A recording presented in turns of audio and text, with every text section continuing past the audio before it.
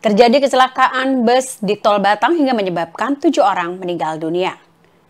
Kecelakaan tunggal melibatkan bus PO Rosalia Indah terjadi di kilometer 370A atau ruas Tol Batang Semarang hingga mengakibatkan tujuh orang meninggal dunia dan satu kondektor terjepit pada bodi bus.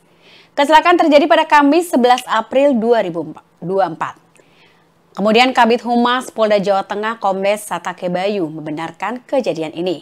Sopir bus diduga dalam kondisi mengantuk sehingga bus yang berpenumpang 34 orang itu keluar jalur dan masuk ke parit sepanjang 200 meter.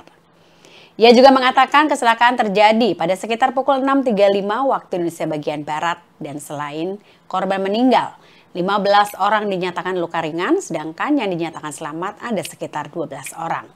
Pihak kepolisian hingga saat ini masih menyelidiki kejadian itu.